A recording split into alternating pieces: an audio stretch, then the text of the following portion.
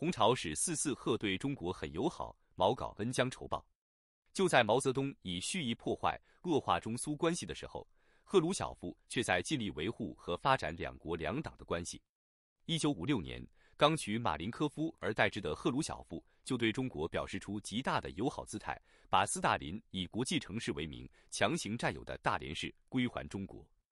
并于同年把斯大林长期占有的中长铁路大连至长春铁路全部交还中国。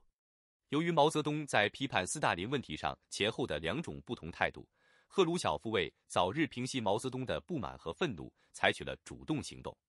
一九五六年十二月三十一日，在克里姆林宫的新年宴会上，赫鲁晓夫特意走下台，和中国驻苏联大使刘晓亲切拥抱，热情邀他上台，坐在赫鲁晓夫和莫洛托夫之间。赫鲁晓夫向全场的人说：“敌人是仇视我们政府的，敌人说什么斯大林主义假面具。”其实，斯大林主义就是马克思列宁主义。斯大林曾和阶级敌人无情斗争，我们曾和他们进行了这一斗争。我们现在仍要和以前一样对阶级敌人斗争。敌人说我们是斯大林主义者，是的，我们是斯大林主义者，我们因此而感到骄傲。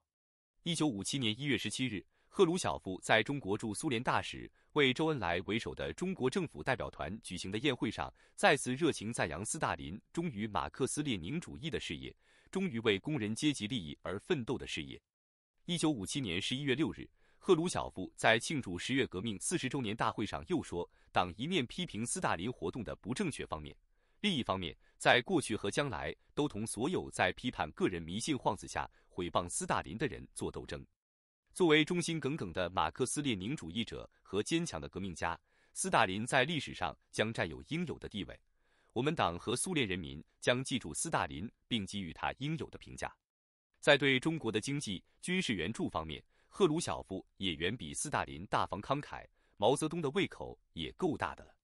一九五七年六月。赫鲁晓夫主动通过苏联驻华大使尤金向周恩来提出，愿帮助中国发展原子能科学，建立研究中心和建设原子能工业。随后，中国派出聂荣臻副总理、宋任穷部长、黄敬部长同苏联驻中国负责经济技术的总顾问阿尔西波夫就原子能方面的合作进行会谈。九月，聂荣臻、陈赓、宋任穷赴莫斯科同别尔乌辛为首的苏联代表团谈判。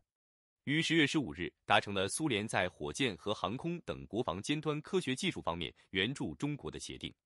及国防技术新协定。同时，中国又派出科学院院长郭沫若为首的代表团，同苏联签订了1958年至1962年中苏共同进行和由苏联援华进行的重大科研项目一百零三项。经济合作方面，除原达成的一百五十六项外，又确定增加援助中国五十五项重大工程项目。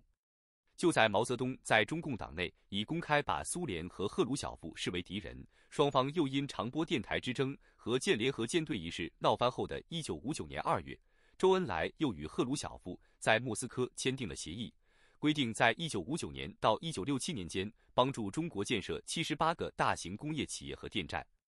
总援助额达五十亿卢布，并规定苏联将以最新的科学技术成就。帮助中国进行科学方面的研究和设计工作，供应设备、仪器和某些专用材料，派遣专家在企业的施工、安装、调整和开工生产等方面给予必要的技术援助，同时接受中国专家和工人到苏联的相应企业进行生产技术学习。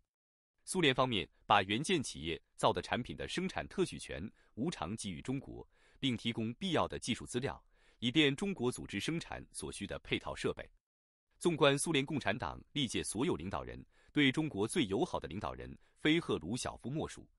其他所有苏共领导人，不是把中国当冤大头狂宰如斯大林，要么就是与中国为敌如勃列日涅夫之流。以赫鲁晓夫的慷慨，若不是毛泽东为了一己的权力之私而与苏联反目，那么当这五十亿的援助全部实施后，中国的经济、技术、科技将会提高到一个更高的水平。中华民族在二十世纪有很多迈向世界强国的机遇。若二十年代没有共产党的武装斗争，三十年代没有日本人的侵略，四十年代抗战胜利后没有毛泽东发起的一场内战，五十年代不与苏联闹翻，依靠赫鲁晓夫对中国援助的慷慨，六七十年代毛泽东不发动一场文革浩劫，都可能使中国成为一大强国。可面对无数机遇，中国都与之失之交臂。西在斯大林当政时期对中国是什么态度？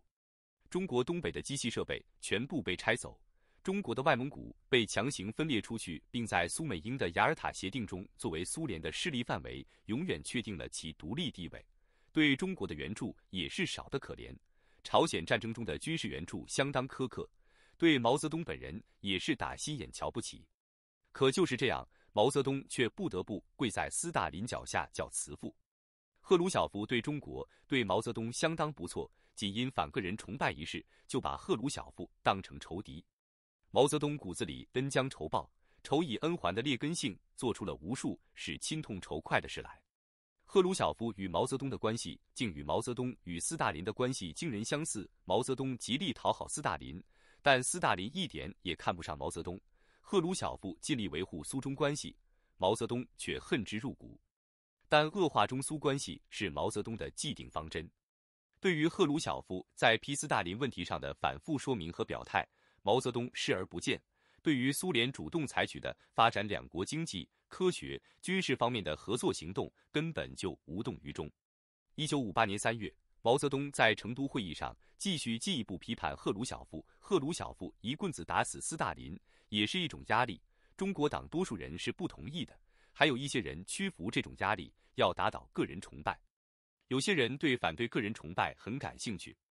反对个人崇拜目的有两种：一种是反对不正确的崇拜，一种是反对崇拜别人，要求崇拜自己。毛泽东也像宋玉一样攻其一点，不及其余，抓住全盘否定四字不放，非把赫鲁晓夫在中国的名声搞臭不可，为日后同苏联闹翻制造舆论。